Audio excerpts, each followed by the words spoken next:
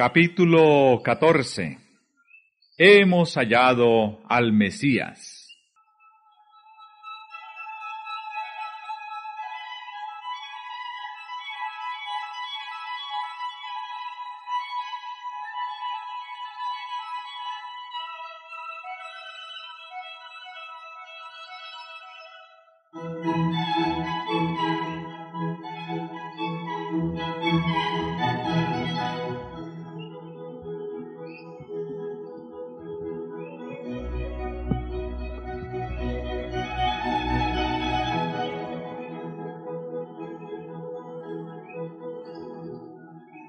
El Bautista estaba predicando y bautizando en Betábara, al otro lado del Jordán. No quedaba muy lejos del lugar donde antaño Dios había detenido el río en su curso hasta que pasara Israel.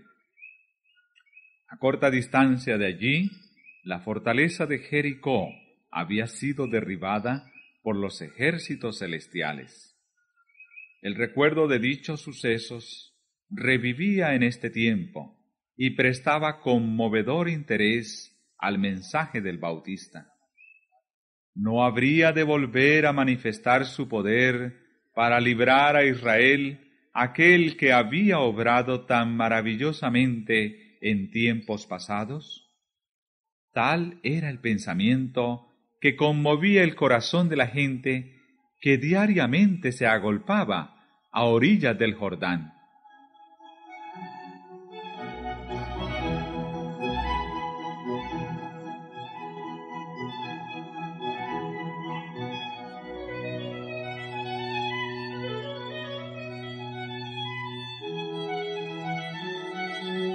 La predicación de Juan se había posesionado tan profundamente de la nación que exigía la atención de las autoridades religiosas. El peligro que se produjera alguna insurrección inducía a los romanos a considerar con sospecha toda reunión popular y todo lo que tuviese el menor viso de un levantamiento del pueblo excitaba los temores de los gobernantes judíos. Juan no había reconocido la autoridad del Sanedrín ni pedido su sanción sobre su obra, y había reprendido a los gobernantes y al pueblo, a fariseos y saduceos por igual. Sin embargo, el pueblo le seguía ávidamente.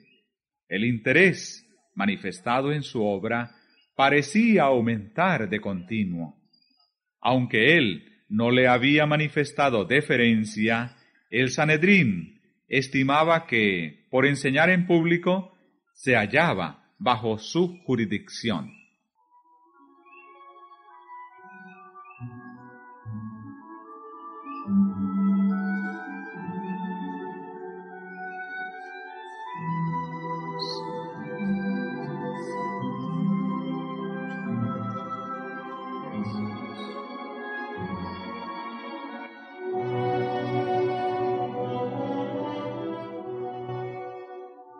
Ese cuerpo estaba compuesto de miembros elegidos del sacerdocio y de entre los principales gobernantes y maestros de la nación. El sumo sacerdote era quien lo presidía, por lo general. Todos sus miembros debían ser hombres de edad provecta, aunque no demasiado ancianos, hombres de saber, no sólo versados en la religión e historia de los judíos, sino en el saber general. Debían ser sin defecto físico y hombres casados y además padres, pues así era más probable que fuesen humanos y considerados. Su lugar de reunión era un departamento anexo al templo de Jerusalén. En el tiempo de la independencia de los judíos, el Sanedrín era la corte suprema de la nación y poseía la autoridad secular tanto como eclesiástica. Aunque en el tiempo de Cristo se hallaba subordinado a los gobernadores romanos, ejercía todavía una influencia poderosa en los asuntos civiles y religiosos.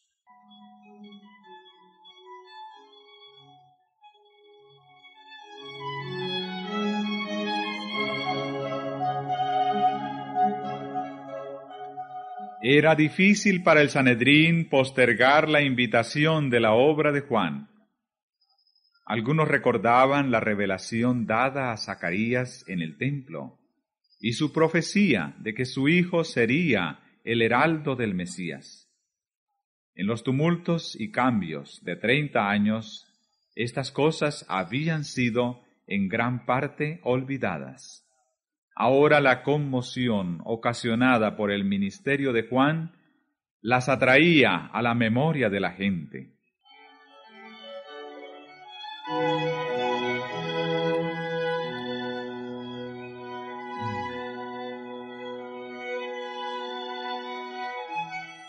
Hacía mucho que Israel no había tenido profeta. Hacía mucho que no se había realizado una reforma como la que se presenciaba. El llamamiento a confesar los pecados parecía nuevo y sorprendente. Muchos de entre los dirigentes no querían ir a oír las invitaciones y denuncia de Juan, por temor a verse inducidos a revelar los secretos de sus vidas. Sin embargo, su predicación era un anuncio directo del Mesías. Era bien sabido que las setenta semanas de las profecías de Daniel, que incluían el advenimiento del Mesías, estaban por terminar, y todos anhelaban participar en esa era de gloria nacional que se esperaba para entonces. Era tal el entusiasmo popular que el Sanedrín se vería pronto obligado a sancionar o a rechazar la obra de Juan. El poder que dicha asamblea ejercía sobre el pueblo estaba ya decayendo. Era para ella un asunto grave saber cómo mantener su posición. Esperando llegar a alguna conclusión, enviaron al Jordán una delegación de sacerdotes y levitas para que se entrevistaran con el nuevo maestro.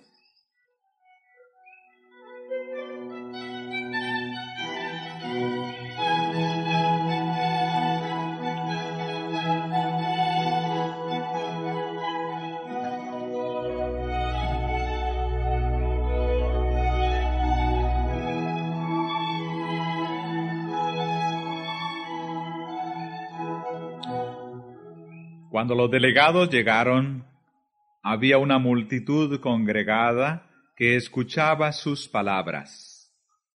Con aire de autoridad, destinado a impresionar a la gente y a inspirar deferencia al profeta, llegaron los altivos rabinos. Con un movimiento de respeto, casi de temor, la muchedumbre les dio paso. Los notables, con lujosa vestimenta y con el orgullo de su posición y poder, se llegaron ante el profeta del desierto. ¿Tú quién eres? preguntaron. No soy yo el Cristo, contestó Juan, sabiendo lo que ellos pensaban. ¿Qué pues? ¿Eres tú Elías? No soy. ¿Eres tú el profeta? No. Pues ¿quién eres para que demos respuesta a los que nos enviaron? ¿Qué dices de ti mismo? Yo soy la voz del que clama en el desierto. Enderezad el camino del Señor, como dijo Isaías, profeta.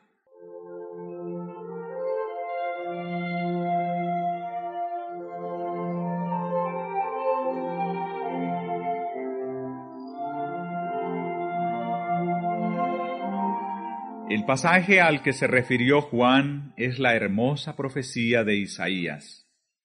Consolaos, consolaos, pueblo mío, dice vuestro Dios. Hablad al corazón de Jerusalén. Decidle a voces que su tiempo es ya cumplido, que su pecado es perdonado.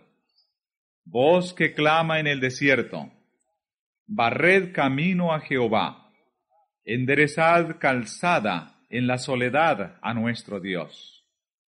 Todo valle sea alzado, y bájese todo monte y collado, y lo torcido se enderece, y lo áspero se allane. Y manifestaráse la gloria de Jehová, y toda carne juntamente la verá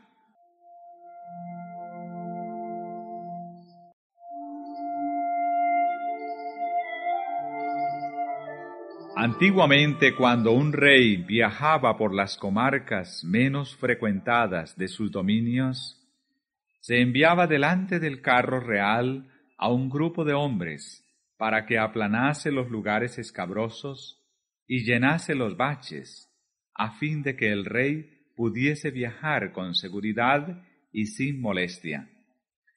Esta costumbre es la que menciona el profeta para ilustrar la obra del Evangelio. Todo valle sea alzado, y bájese todo monte y collado. Cuando el Espíritu de Dios conmueve el alma con su maravilloso poder de despertarla, humilla el orgullo humano. El placer mundanal, la jerarquía y el poder son tenidos por inútiles, son destruidos los consejos y toda altura que se levanta contra la ciencia de Dios, y se sujeta todo intento a la obediencia de Cristo. Entonces la humildad y el amor abnegado, tan poco apreciados entre los hombres, son ensalzados como las únicas cosas de valor. Tal es la obra del Evangelio, de la cual el mensaje de Juan era una parte.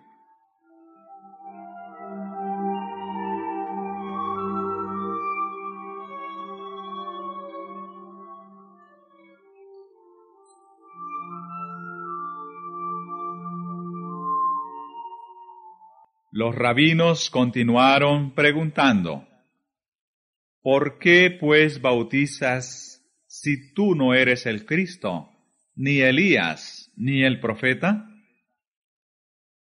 Las palabras del profeta se referían al Moisés. Los judíos se habían inclinado a creer que Moisés sería resucitado de los muertos y llevado al cielo. No sabían que ya había sido resucitado. Cuando el Bautista inició su ministerio, muchos pensaron que tal vez fuese el profeta Moisés resucitado porque parecía tener un conocimiento cabal de las profecías y de la historia de Israel.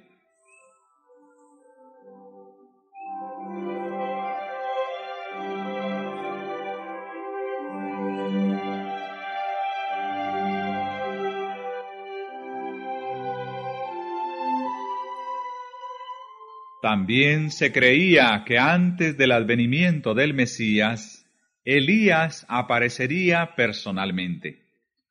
Juan salió al cruce de esta expectación con su negativa, pero sus palabras tenían un significado más profundo.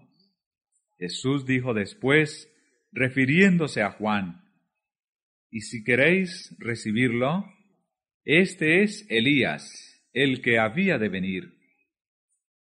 Juan vino con el espíritu y poder de Elías para hacer una obra como la que había hecho Elías. Si los judíos le hubiesen recibido, esta obra se habría realizado en su favor, pero no recibieron su mensaje. Para ellos no fue Elías, no pudo cumplir en favor de ellos la misión que había venido a realizar.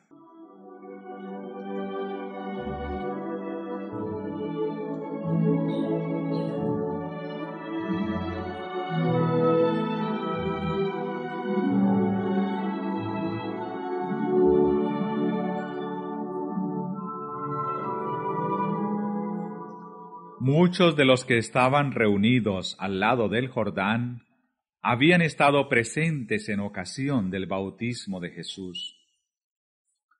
Pero la señal dada entonces había sido manifiesta para unos pocos de entre ellos. Durante los meses precedentes, durante el ministerio del Bautista, muchos se habían negado a escuchar el llamamiento al arrepentimiento. Así habían endurecido su corazón y oscurecido su entendimiento. Cuando el cielo dio testimonio a Jesús en ocasión de su bautismo, no lo percibieron. Los ojos que nunca se habían vuelto con fe hacia el invisible, no vieron la revelación de la gloria de Dios. Los oídos que nunca habían escuchado su voz, no oyeron las palabras del testimonio. Así sucede ahora. Con frecuencia, la presencia de Cristo y de los ángeles ministradores se manifiesta en las asambleas del pueblo. Y sin embargo, muchos no lo saben. No disciernen nada insólito, pero la presencia del Salvador se revela a algunos la paz y el gozo animan su corazón.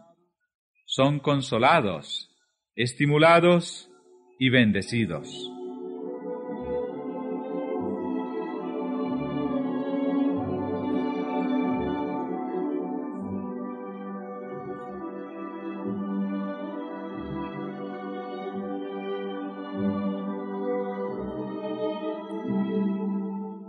Los diputados de Jerusalén habían preguntado a Juan, ¿por qué pues bautizas? Y estaban aguardando su respuesta. Repentinamente al pasear Juan la mirada sobre la muchedumbre, sus ojos se iluminaron, su rostro se animó, todo su ser quedó conmovido por una profunda emoción. Con la mano extendida, exclamó, yo bautizo con agua, pero en medio de vosotros está uno a quien no conocéis. El mismo viene después de mí, a quien no soy digno de desatar la correa de sus zapatos.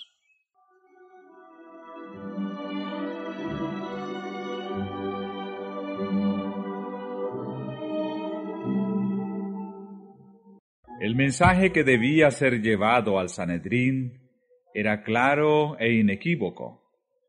Las palabras de Juan no podían aplicarse a otro, sino al Mesías prometido. Este se hallaba entre ellos. Con asombro, los sacerdotes y gobernantes miraban en derredor suyo, esperando descubrir a aquel de quien había hablado Juan. Pero no se le distinguía entre la multitud. Cuando en ocasión del bautismo de Jesús, Juan le señaló como el Cordero de Dios, una nueva luz resplandeció sobre la obra del Mesías. La mente del profeta fue dirigida a las palabras de Isaías. Como Cordero fue llevado al matadero. Durante las semanas que siguieron, Juan estudió con nuevo interés las profecías y la enseñanza de las ceremonias de los sacrificios.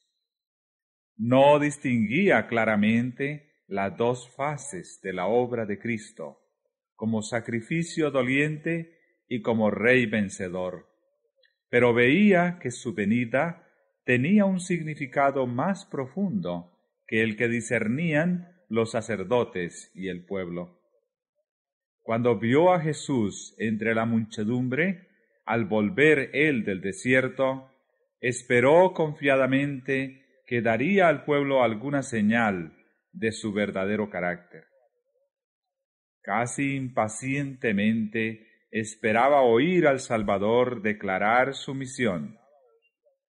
Pero Jesús no pronunció una palabra ni dio señal alguna no respondió al anuncio que hiciera el Bautista acerca de él, sino que se mezcló con los discípulos de Juan sin dar evidencia externa de su obra especial, ni tomar medidas que lo pusiesen en evidencia.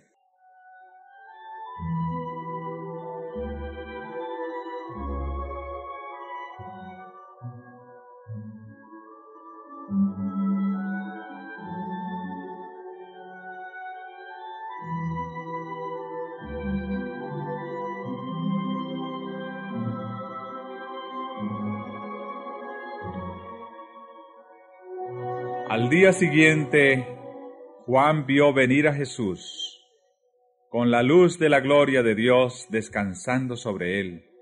El profeta extendió las manos diciendo, He aquí el Cordero de Dios, que quita el pecado del mundo. Este es del que dije, Tras mí viene un varón, el cual es antes de mí, y yo no le conocía mas para que fuese manifestado a Israel, por eso vine yo bautizando con agua.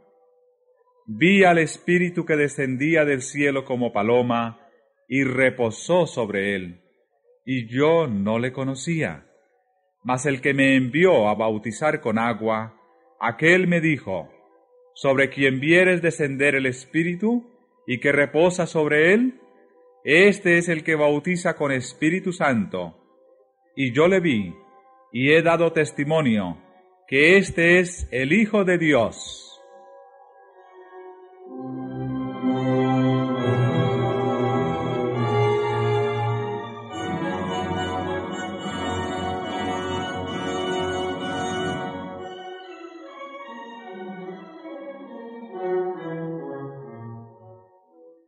¿Era este el Cristo? Con reverencia y asombro el pueblo miró a aquel que acababa de ser declarado Hijo de Dios. Todos habían sido profundamente conmovidos por las palabras de Juan. Les había hablado en el nombre de Dios. Le habían escuchado día tras día mientras reprendía sus pecados y diariamente se había fortalecido en ellos la convicción de que era enviado del cielo. Pero, ¿quién era este mayor que Juan el Bautista? En su porte e indumentaria nada indicaba que fuese de alta jerarquía.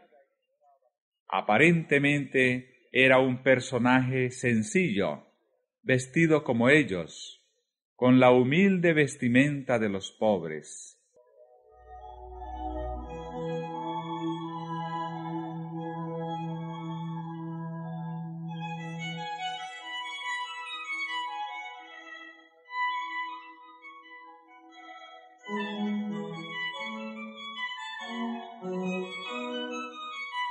Había entre la multitud algunos de los que en ocasión del bautismo de Cristo habían contemplado la gloria divina y oído la voz de Dios.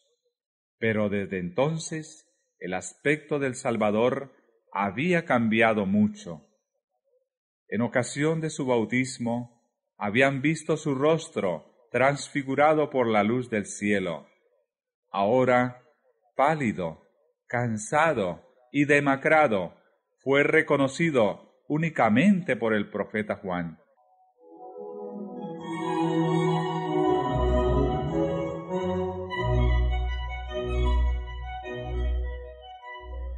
Pero al mirarle, la gente vio un rostro donde la compasión divina se aunaba con la conciencia del poder. Toda mirada de sus ojos, todo rasgo de su semblante, estaba señalado por la humildad y expresaba un amor indecible. Parecía rodeado por una atmósfera de influencia espiritual. Aunque sus modales eran amables y sencillos, daba a los hombres una impresión de un poder escondido, pero que no podía ocultarse completamente. ¿Era este aquel a quien Israel había esperado tanto tiempo?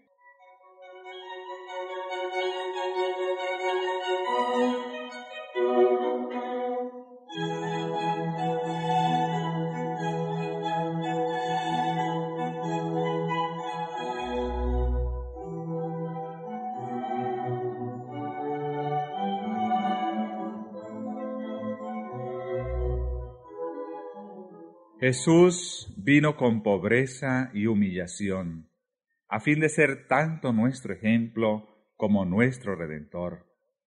Si hubiese aparecido con pompa real, ¿cómo podría habernos enseñado la humildad?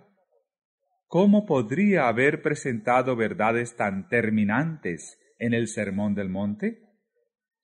¿Dónde habría quedado la esperanza de los humildes en esta vida si Jesús hubiese venido a morar como rey entre los hombres?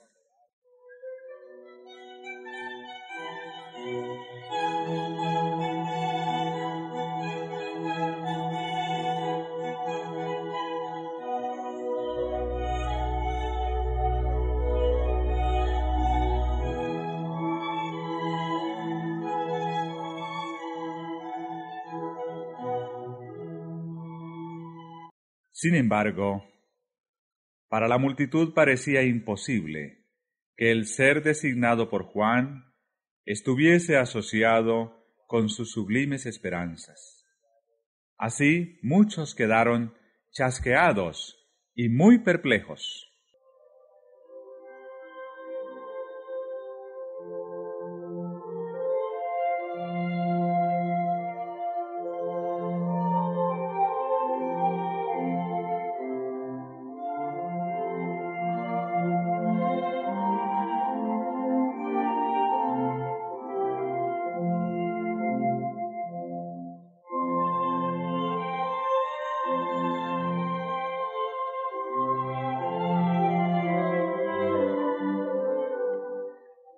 Las palabras que los sacerdotes y rabinos tanto deseaban oír, a saber, que Jesús restauraría ahora el reino de Israel, no habían sido pronunciadas.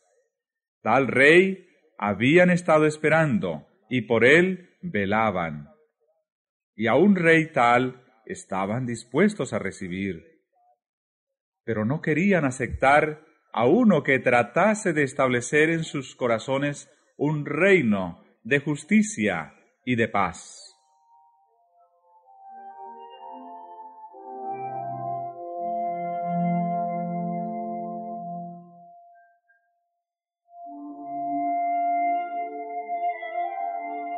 Al día siguiente, mientras dos discípulos estaban cerca, Juan volvió a ver a Jesús entre el pueblo.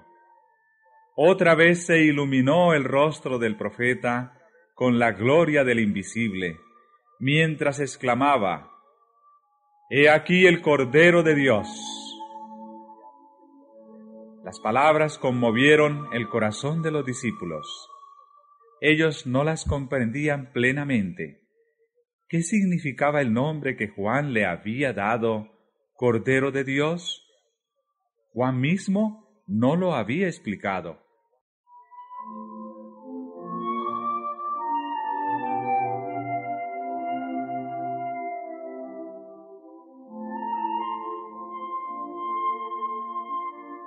Dejando a Juan, se fueron en pos de Jesús. Uno de ellos era Andrés, hermano de Simón. El otro, Juan, el que iba a ser el evangelista. Estos fueron los primeros discípulos de Cristo. Movidos por un impulso irresistible, siguieron a Jesús, ansiosos de hablar con él, aunque asombrados y en silencio, abrumados por el significado del pensamiento. ¿Es este el Mesías?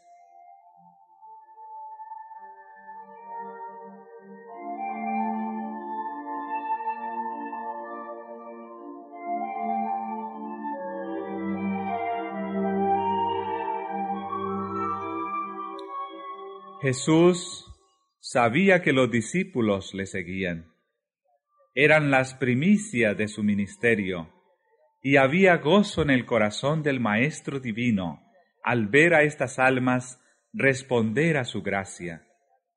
Sin embargo, volviéndose les preguntó, ¿qué buscáis? Quería dejarlos libres para volver atrás o para expresar su deseo.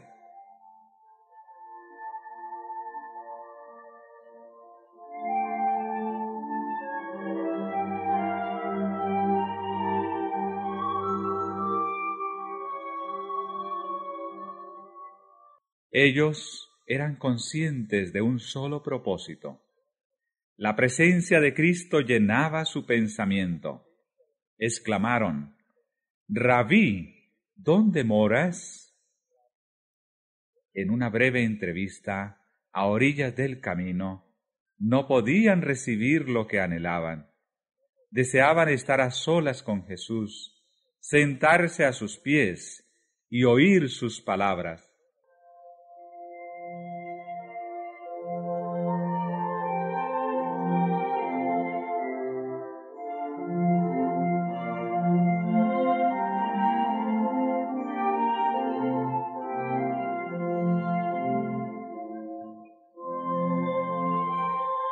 Díceles, venid y ved. Vinieron y vieron dónde moraba, y quedáronse con él aquel día.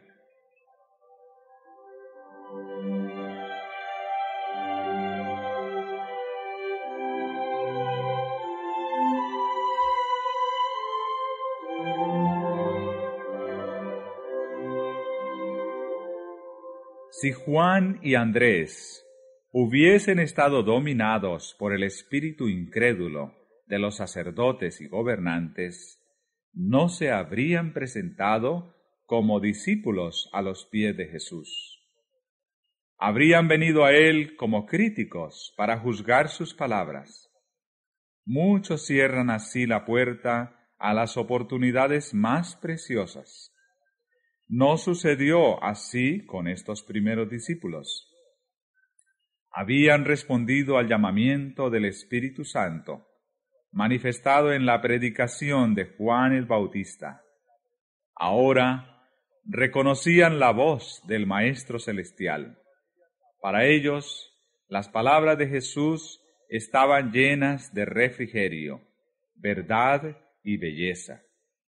Una iluminación divina se derramaba sobre las enseñanzas de las Escrituras del Antiguo Testamento. Los multilaterales temas de la verdad se destacaban con una nueva luz.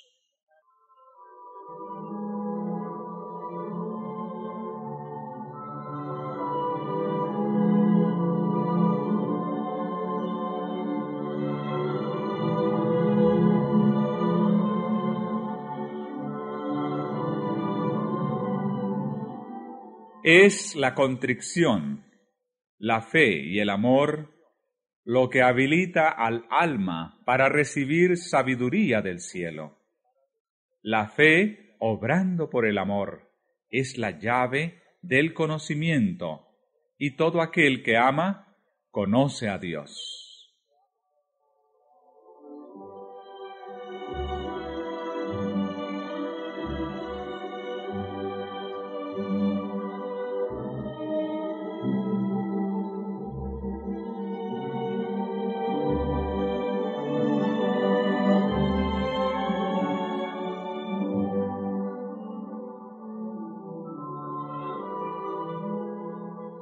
El discípulo Juan era de afectos sinceros y profundos, aunque de naturaleza contemplativa.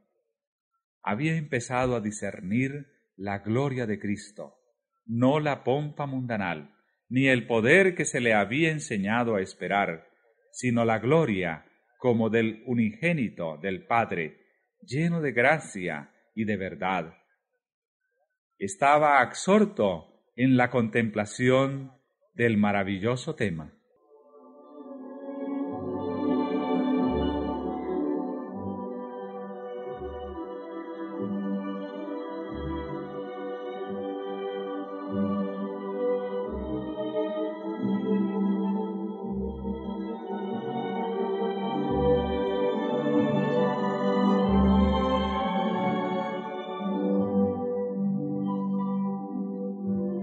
Andrés trató de impartir el gozo que llenaba su corazón. Yendo en busca de su hermano Simón, exclamó, Hemos hallado al Mesías. Simón no se hizo llamar dos veces.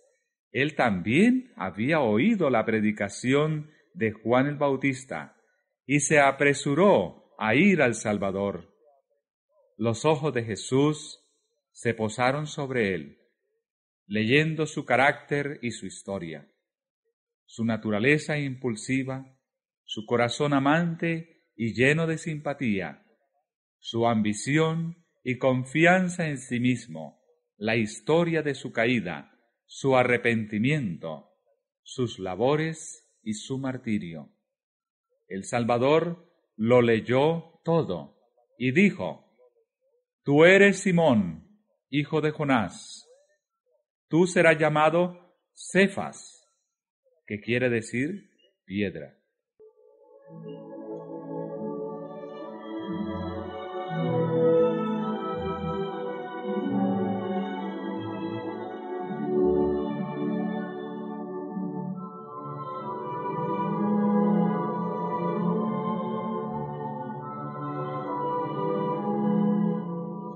El día siguiente quiso Jesús ir a Galilea, y allí halla a Felipe, al cual dijo, Sígueme.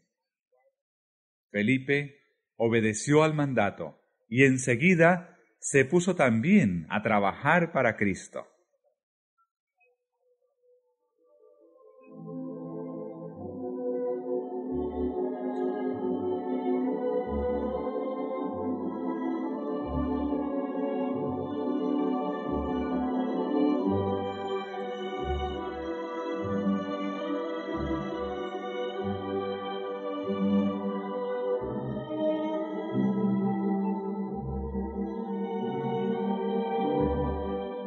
Felipe llamó a Natanael.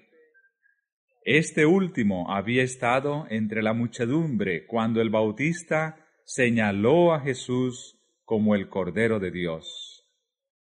Al mirar a Jesús, Natanael quedó desilusionado. ¿Podía ser el Mesías este hombre que llevaba señales de pobreza y de trabajo?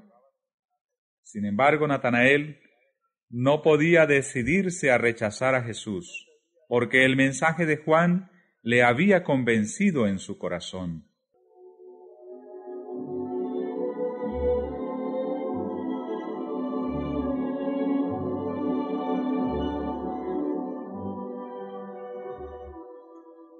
Cuando Felipe lo llamó, Natanael se había retirado a un tranquilo huerto para meditar sobre el anuncio de Juan y las profecías concernientes al Mesías. Estaba rogando a Dios que si el que había sido anunciado por Juan era el libertador, se lo diese a conocer.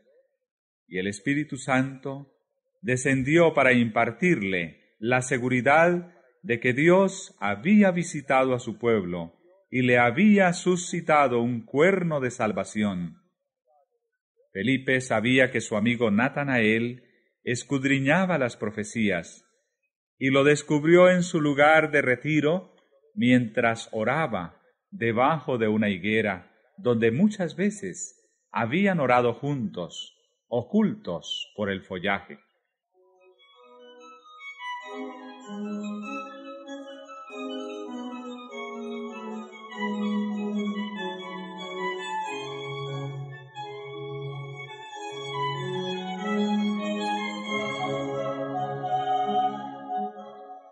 El mensaje hemos hallado a aquel de quien escribió Moisés en la ley y los profetas, pareció a Natanael una respuesta directa a su oración.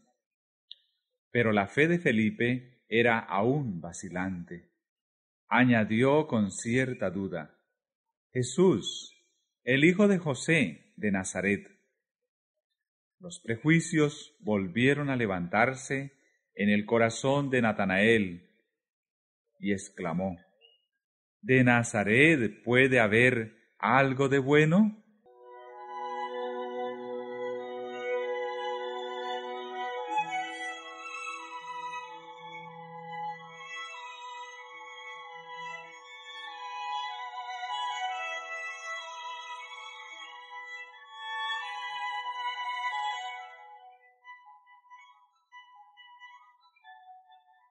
Felipe no entró en controversia, dijo, ven y ve.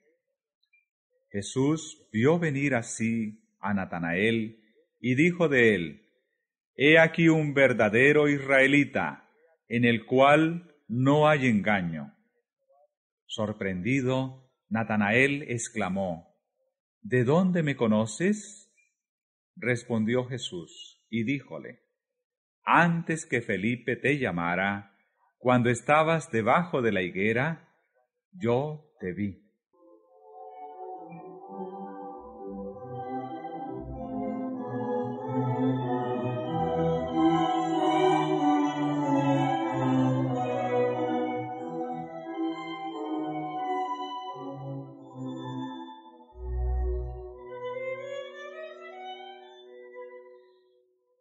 Esto fue suficiente. El Espíritu Divino que había dado testimonio a Natanael en su oración solitaria debajo de la higuera, le habló ahora en las palabras de Jesús. Aunque presa de la duda y cediendo en algo al prejuicio, Natanael había venido a Cristo con un sincero deseo de oír la verdad, y ahora su deseo estaba satisfecho. Su fe superó a la de aquel que le había traído a Jesús. Respondió y dijo, Rabí, tú eres el Hijo de Dios, tú eres el Rey de Israel.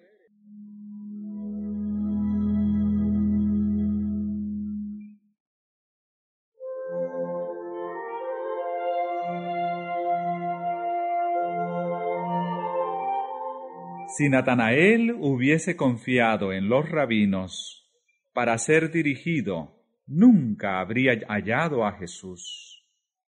Viendo y juzgando por sí mismo, fue como llegó a ser discípulo. Así sucede hoy día en el caso de muchos, a quienes los prejuicios apartan de lo bueno. Cuán diferentes serían los resultados si ellos quisieran venir y ver.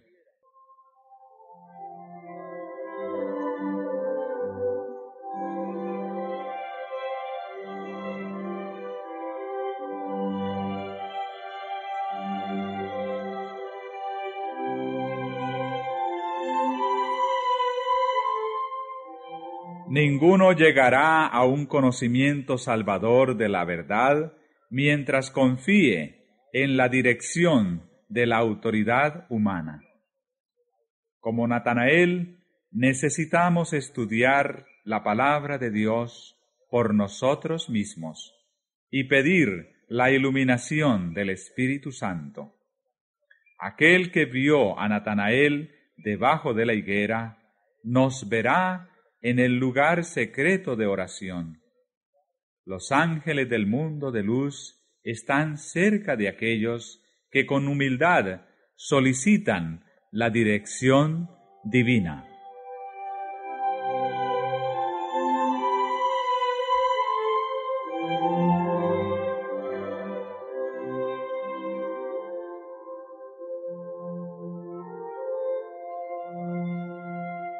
Con el llamamiento de Juan, Andrés, Simón, Felipe y Natanael, empezó la fundación de la Iglesia cristiana. Juan dirigió a dos de sus discípulos a Cristo. Entonces uno de estos, Andrés, halló a su hermano y lo llevó al Salvador. Luego Felipe fue llamado y buscó a Natanael. Estos ejemplos deben enseñarnos la importancia del esfuerzo personal de dirigir llamamientos directos a nuestros parientes, amigos y vecinos. Hay quienes durante toda la vida han profesado conocer a Cristo y sin embargo no han hecho nunca un esfuerzo personal para traer siquiera un alma al Salvador dejan todo el trabajo al predicador. Tal vez él esté bien preparado para su vocación, pero no puede hacer lo que Dios ha dejado para los miembros de la Iglesia.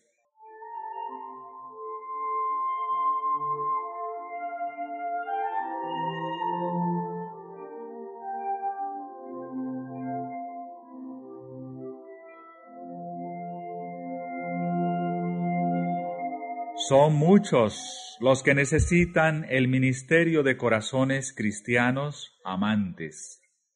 Muchos han descendido a la ruina cuando podrían haber sido salvos si sus vecinos, hombres y mujeres comunes, hubiesen hecho algún esfuerzo personal en su favor.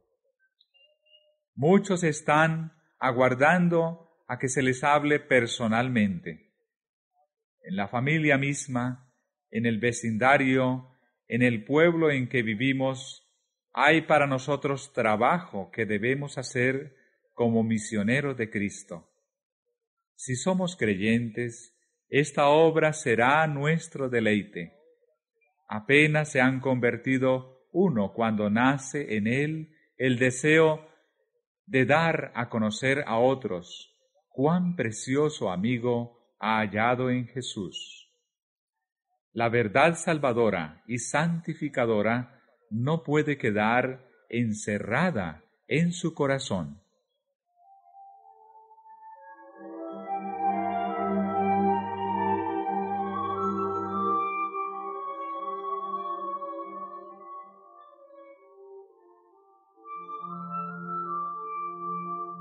Todos los que se han consagrado a Dios serán conducto de luz.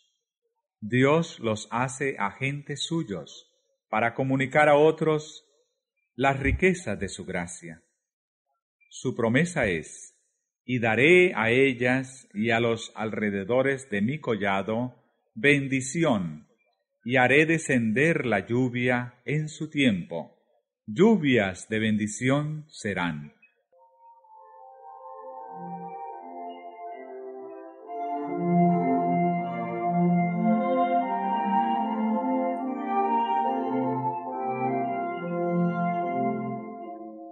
Felipe dijo a Natanael, ven y ve.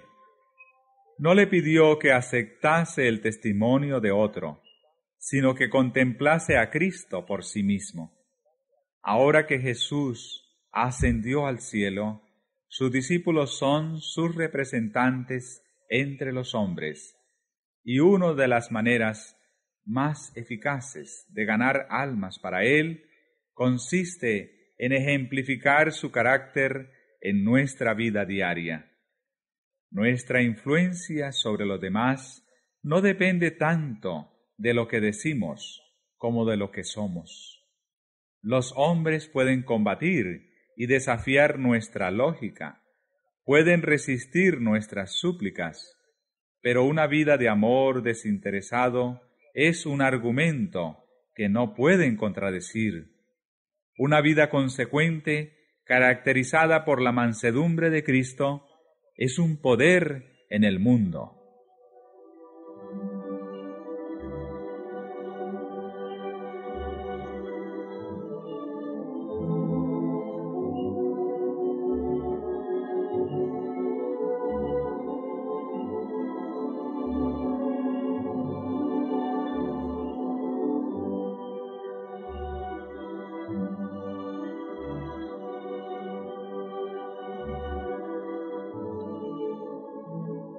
Enseñanza de Cristo fue la expresión de una convicción íntima y de la experiencia, y los que aprenden de él llegan a ser maestros según el orden divino. La palabra de Dios, pronunciada por aquel que haya sido santificado por ella, tiene un poder vivificador que la hace atrayente para los oyentes y los convence de que es una realidad viviente. Cuando uno ha recibido la verdad con amor, lo hará manifiesto en la persuasión de sus modales y el tono de su voz. Dará a conocer lo que él mismo oyó, vio y tocó de la palabra de vida, para que otros tengan comunión con él por el conocimiento de Cristo. Su testimonio, de labios tocados por un tizón ardiente del altar, es verdad para el corazón dispuesto a recibirlo y santifica el carácter.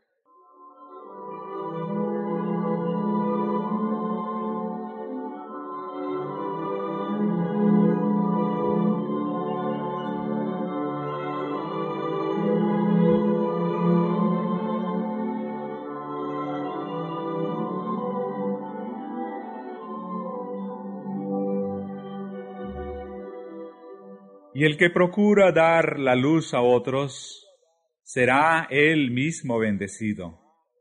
Habrá lluvias de bendición. El que riega será él mismo regado.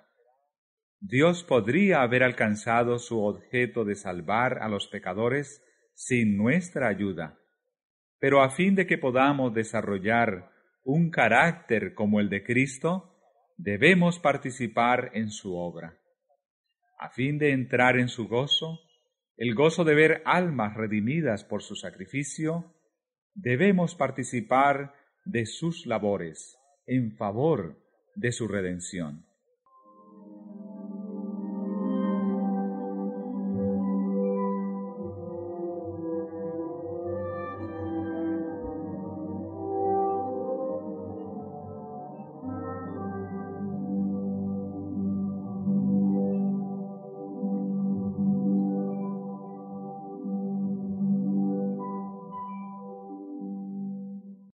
La primera expresión de la fe de Natanael, tan completa, ferviente y sincera, fue como música en los oídos de Jesús. Y él respondió y le dijo, Porque te dije, te vi debajo de la higuera, ¿crees?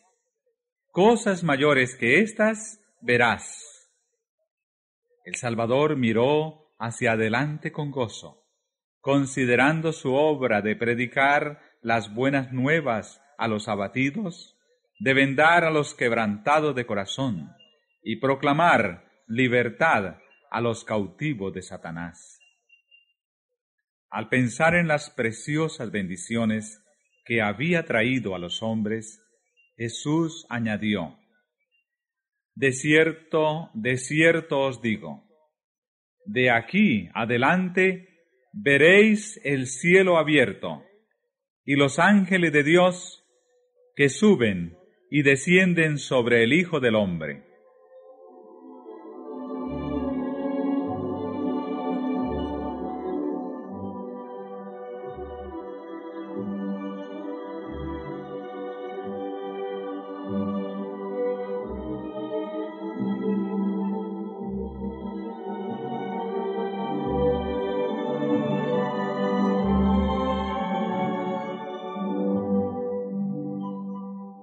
Esto, Cristo dice en realidad,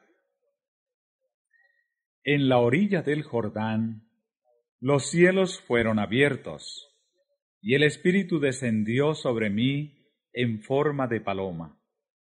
Esta escena no fue sino una señal de que soy el Hijo de Dios.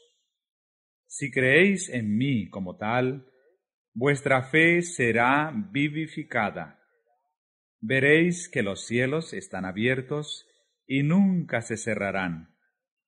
Los he abierto a vosotros. Los ángeles de Dios están ascendiendo y llevando las oraciones de los menesterosos y angustiados al Padre Celestial. Y al descender traen bendición y esperanza, valor, ayuda y vida a los hijos de los hombres.